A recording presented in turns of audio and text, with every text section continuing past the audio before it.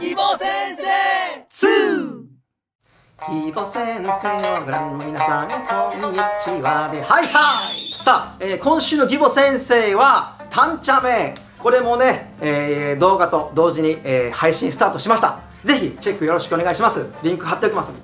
さあ、えー、タンチャメ節、えー沖縄の民謡では非常にこうポピュラーな一曲ですけども、まあ、義母レールね、モノレールの駅名の企画で、皆さん覚えてますか？一番最初に那覇空港駅の駅メロをレポートしましたけど、あの時に流れていたのがこのタンチャメ節でもあります。えー非常にこうね、キャッチーな、えーメロディーでその海の、ね、漁師の町の魚、えーを取って売ってくるという歌詞なんかが出ますけどもそうですね。タンチャメ節は琉球舞踊なんかでもありますね。踊りを、踊らせてこの曲を歌うみたいなところもあります。えー非常にねいろんなところで流れてますしもう沖縄の、えー民謡えーその早弾きの曲としてねやるときにもぜひ、えーこの「タンチャメ節」挑戦してみてください。難しいんですけどね、えーややりがいのある曲でございます。タンチャ名は、えー、女村のタンチャというね地名、えーなんですけどもその北部の、えー魚取りの歌詞なんかが出ました、えー一番の歌詞を説明するとこういう歌詞集がね実は、えー歌詞集歌詞集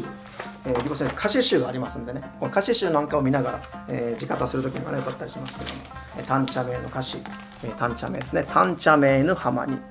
タンチャ名の浜にスルルグアがいるティンドウちょっといろいろ勉強してますね。スルルグアがいるティンドウまあ、スルルグアっていうのは魚のね、えーまあその種類というか名前なんですけども。タンチャ名の浜に魚が寄ってきたよ。スルルグアやアラミジュンド、えーこの魚じゃなくてこの魚もでやってきたよみたいな。で3番アフィタヤグリトゥイガー。お兄さんたちが取ってきた魚これを、えー、アンゴアや紙手売り、えー女性たちが、えー持ってその売りに行きますよという歌詞なんかが出ます。非常にこう情景の浮かびやすい。そしてね、まあ、沖縄の人たちもそうですけどこの県外とか海外で、えー結構やる演目でもあります、まあ、その漁師町っていうのは沖縄だけに限らず、えーいろんなところでねありますけどもそういう魚取りの風景なんかはまあ誰が見てもイメージしやすいですよね。そういった意味でも人気の琉球舞踊でもありますので。琉球舞踊もねぜひ見る機会あったらタンチャメ見てみてください。今週は琉球あ沖縄民謡のタンチャメを、えー特集深掘りしてみました。義母先生でした。また会いましょう。元気で。